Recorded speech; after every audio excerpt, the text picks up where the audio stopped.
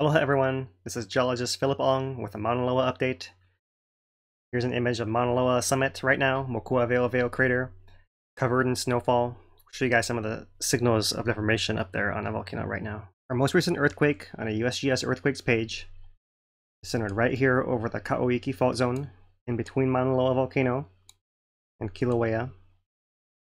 And it came in at a 4.2 magnitude at a depth of 26 kilometers or about 16 miles down.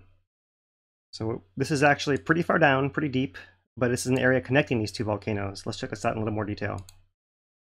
Here's a cross-section of a Hawaiian volcano the size of Mauna Loa.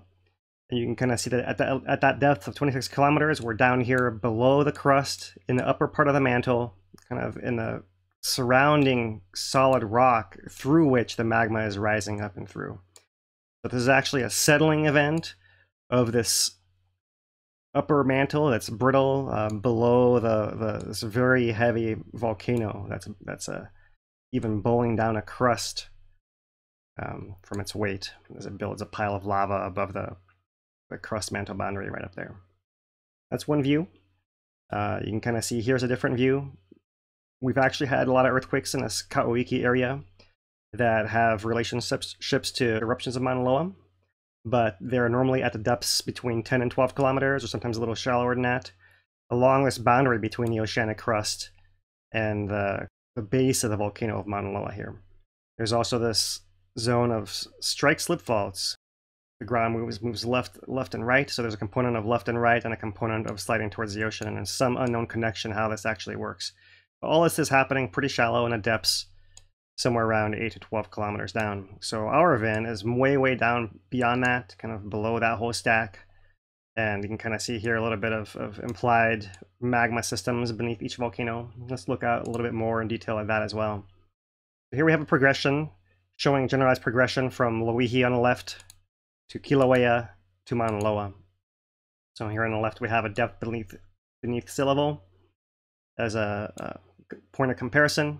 And here, if I scroll to the top, you can see Moku'āweoweo, summit of Mauna Loa up here. Has a large magma system. That upper one kilometer above the magma chamber is that more brittle rock that kind of cap over top of the volcano there. And you can kind of see a, a large storage system uh, from sea level and up.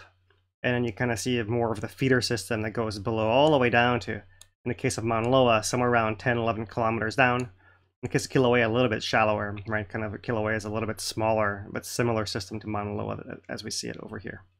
So if we look at 26 kilometers down, we are way down here off of our plot, in fact, somewhere down, somewhere in the rocks in between the feeder of Mauna Loa and the feeder of Kilauea. It happens to be below the junction of these volcanoes at the surface, but at that depth, it's really more to do with a, with the overall depth rather than the location you know, uh, uh, nearby these feeder zones of the magma.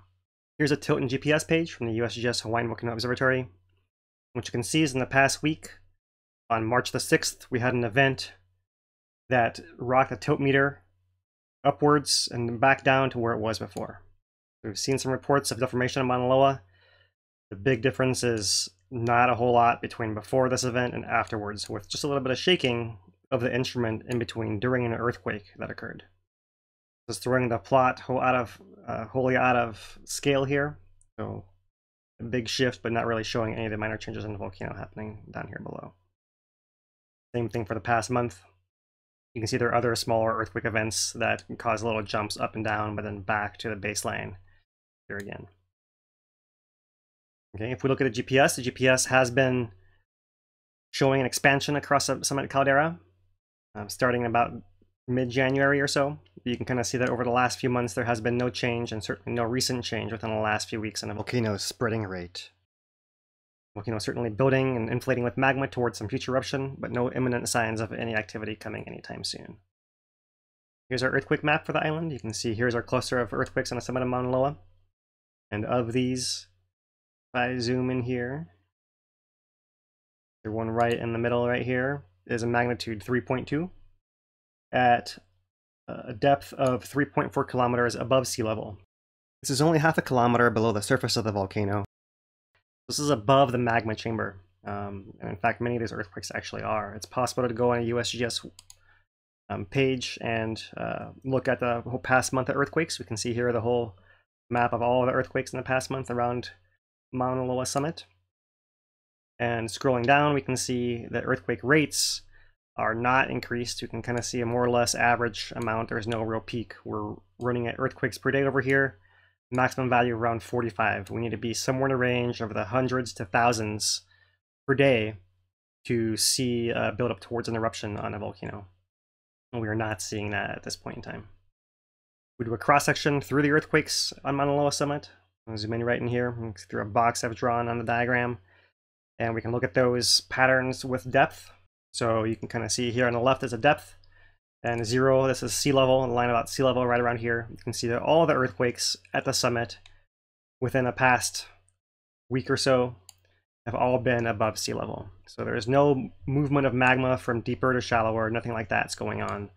More an adjustment above and around a magma chamber as magma continues to fill it in, nothing to worry about there. And one last thing, finally, looking at Kilauea's tilts, we actually can see the signal of that 3.2 Mauna Loa earthquake registering Kilauea summit as well. Here it is on the Uekahuna station at the summit. We look at the Sand Hill station, we see it, uh, as well as the earlier 8.1, 8.2 Kermadec Islands near New Zealand showing up on a signal as well. So visible across many of the stations on the summit.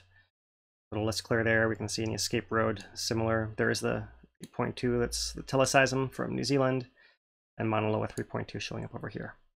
No surprises there, nothing to be alarmed about. All is quiet on Mauna Loa, and we will come back to you guys if we see signs of earthquakes increasing, of tilt increasing and persisting. Um, as of right now, uh, there is no significant change in Mauna Loa. Aloha, everyone.